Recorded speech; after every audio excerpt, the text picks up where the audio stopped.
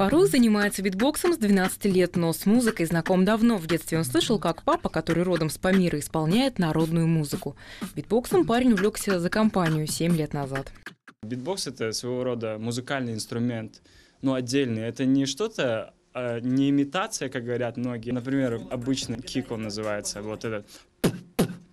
Он делается как? Ты просто берешь и воздух толкаешь через губы, получается, делая такой замок из губ так говоря букву «Б» при этом. Например, head, вот этот. Это, ну, скажу грубо, имитация э, хэта из барабанной стойки получается.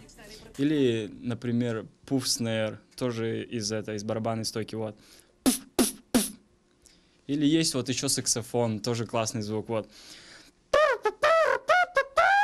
Ну, любимый, он такой забавный немного, это вот капелька капелька вот такая. Вот.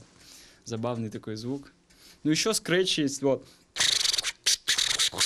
Этих имитаций около двух десятков, но научиться издавать такие звуки – это еще только полдела, рассказывает Фарух.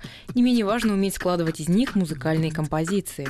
Когда собираешь, это уже бит называется, и, и там, вот, например, давайте вам покажу.